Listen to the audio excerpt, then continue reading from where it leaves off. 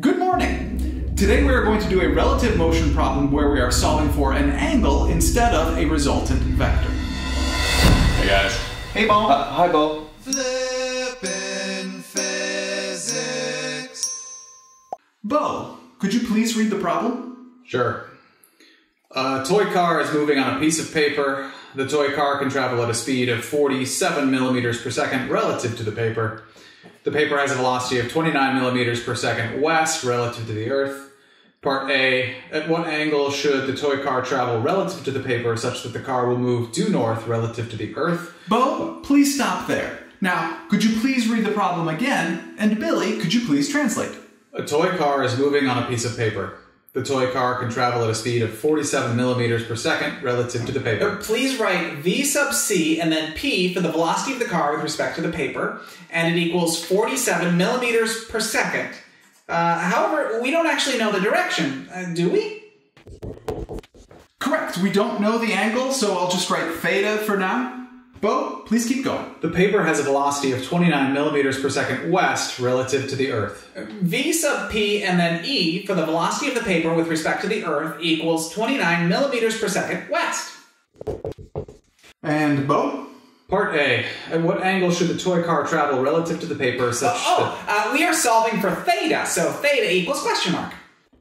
Yes, we're solving for the direction of the car with respect to the paper. So, theta. Bo, please continue. such that the car will move due north relative to the Earth? Uh, I, I guess all that we know about the velocity of the car with respect to the Earth is its direction, north. So v sub c and then e is north. Now that we have all the givens, let's visualize the problem. Let's start with the paper, which is the only vector for which we know both the magnitude and direction. You could see the paper is moving at 29 millimeters per second west. We know the speed of the car with respect to the paper, and we are trying to find its direction such that when placed on the paper, the car will move directly northward. So if I were to place the toy car on the paper moving directly north relative to the paper, what direction would it be moving relative to the Earth? Correct. So notice that we have to turn the car slightly eastward in order to counteract the westward motion of the paper. So you can see that the car will be moving in a northeasterly direction relative to the paper in order to move in a direction north relative to the Earth. Let's now add the tip to tail vector addition diagram. This gives us the equation, the velocity of the car with respect to the paper, plus the velocity of the paper with respect to the Earth, is equal to the velocity of the car with respect to the Earth. This is the same equation we had for our first two relative motion problems. But notice that the velocity of the car with respect to the Earth is no longer the hypotenuse of the triangle, which has a tendency to confuse people. Yeah, that is confusing. I thought for sure that the hypotenuse velocity vector was always with respect to the Earth.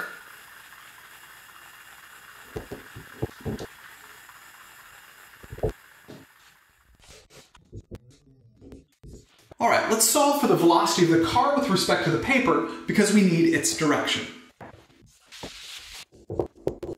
Subtracting the velocity of the paper with respect to the Earth from both sides of the equation gives us that the velocity of the car with respect to the paper is equal to the velocity of the car with respect to the Earth minus the velocity of the paper with respect to the Earth. Now remind me, Bobby, what does taking the negative of a relative motion velocity vector do? It reverses the order of the subscripts. And it reverses the direction of the vector. In other words, the positive of the velocity of the Earth with respect to the paper is equal to the negative of the velocity of the paper with respect to the Earth. Which means the velocity of the Earth with respect to the paper is negative 29 millimeters per second west, and negative west is east. Therefore, the velocity of the Earth with respect to the paper is 29 millimeters per second east. And we can substitute the velocity of the Earth with respect to the paper, positive value, in for the negative velocity of the paper with respect to the Earth. And we can redraw our tip to tail vector diagram. What we started with was the velocity of the car with respect to the paper plus the velocity of the paper with respect to the Earth, tip to tail vector addition, adding up to our resultant vector in blue, the velocity of the car with respect to the Earth. We then rearranged that to get the velocity of the car with respect to the Earth plus the velocity of the Earth with respect to the paper. Again, tip to tail vector addition, adding up to our resultant vector in blue, the velocity of the car with respect to the paper. And this is a vector diagram that I bet you are more used to working with. And we can even go back to our car and paper example and reverse the direction of the paper velocity vector to show the new vector diagram. Yeah, I like that better. Wait a minute. The Earth subscript dropped out of the right-hand side of the equation, just like it did in our previous relative motion problems. Now that's clever, Mr. P. Very astute, Bobby. As you said, because the common subscript, the Earth, is on the inside of the subscripts on the right-hand side of the equation, it drops out of the equation and does not appear on the left-hand side of the equation. Uh, and now, Billy, could you please solve part A, solve for theta in our vector diagram? Sine theta equals opposite over hypotenuse, which equals the velocity of the Earth with respect to the paper divided by the velocity of the car with respect to the paper. Take the inverse sine of the whole equation, and we are left with theta equals the inverse sine of the velocity of the Earth with respect to the paper divided by the velocity of the car with respect to the paper, which equals, with numbers, the inverse sine of 29 divided by 47, which is 38.099 degrees. Uh, with two sig figs, it rounds to 38 degrees and the direction is east of north.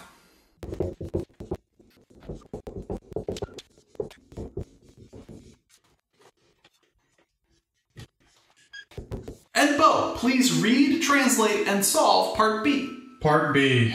What is the speed of the car relative to the Earth? So, we need to solve for the magnitude of the velocity of the car with respect to the Earth.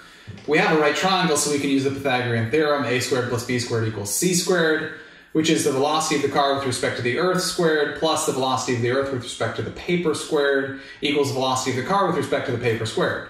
Subtract the velocity of the Earth with respect to the paper squared from both sides to get the velocity of the car with respect to the Earth squared equals the velocity of the car with respect to the paper squared minus the velocity of the Earth with respect to the paper squared. Take the square root of the whole equation and plug in numbers to get the velocity of the car with respect to the Earth equals the square root of 47 squared minus 29 squared, which is 36.986, which rounds to, with two sig figs, to 37 millimeters per second.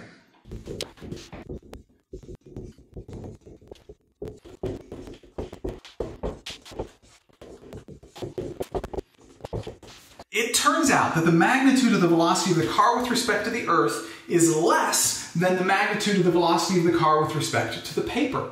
Because the positive velocity of the car with respect to the paper in the x direction ends up being canceled out by the negative velocity in the x direction of the paper. Thank you very much for learning with me today. I enjoyed learning with you.